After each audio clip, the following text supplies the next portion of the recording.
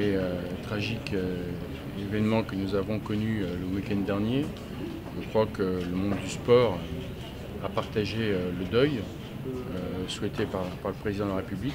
Il n'avait pas, pas la tête à, faire autre chose qu'à veiller, qu'à penser aux victimes, à leurs proches, à leurs familles de ces tragiques attentats. Mais la vie continue. Et je crois que la vie continuant, euh, il faut que euh, le sport reprenne ses droits, que les compétitions reprennent.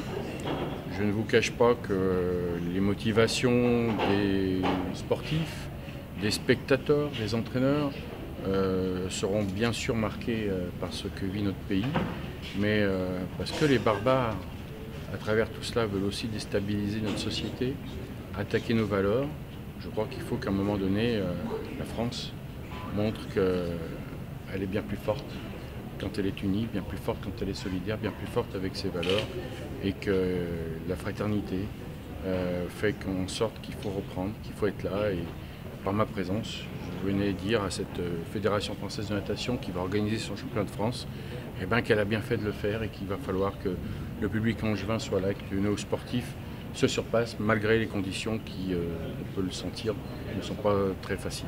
Vendredi soir, il y a un lieu, un endroit sportif qui a été visé par les terroristes. C'est un lieu de communauté, c'est un lieu de rencontre euh, des Français, c'est aussi un symbole. un stade, c'est comme le sport, euh, c'est un symbole. Un symbole de paix, un symbole de fraternité. Et je pense que s'ils ont voulu s'attaquer à, un stade et à ces symboles, euh, nous devons y apporter une réponse très concrète, euh, très forte. C'est la raison pour laquelle la réponse que l'on peut apporter, c'est euh, bah, que la vie continue et que nous allons, par cette solidarité, par cette unité, montrer ce qu'est la France, sa force, ses valeurs et que nous serons bien plus forts toujours que cette barbarie. C'est aussi une valeur d'exemple quelque part. Les sportifs peuvent être les exemples pour montrer à la société qu'on doit continuer de, vivre Bien sûr, on sait très bien qu'un sportif de haut niveau est quelqu'un qui, doit être exemplaire parce qu'il véhicule des valeurs que beaucoup d'enfants euh, le regardent souvent comme, comme un exemple.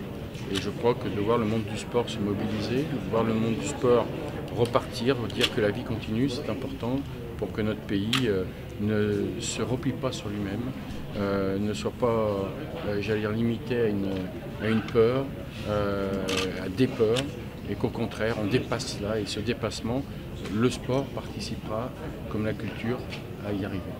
Est-ce qu'il y a eu des dispositifs particuliers qui ont été pris par le ministère justement pour augmenter la sécurité autour des différentes enceintes, quel que soit le lieu en France Bien sûr qu'il y a eu des, mesures qui, ont été prises.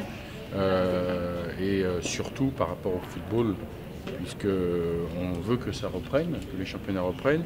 Et comme on l'a dit, euh, on ne peut pas fournir la sécurité, le ministère de l'Intérieur ne peut pas fournir la sécurité des supporters à l'extérieur.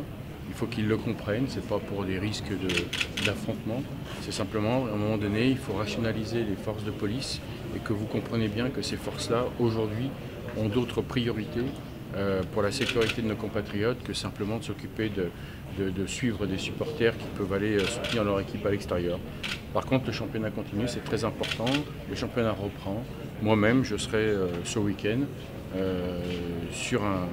dans un stade de football pour montrer symboliquement qu'il faut que ça reprenne et qu'on est là et qu'on peut y aller en toute sécurité. Et sur ces championnats, est-ce qu'il y a des mesures particulières?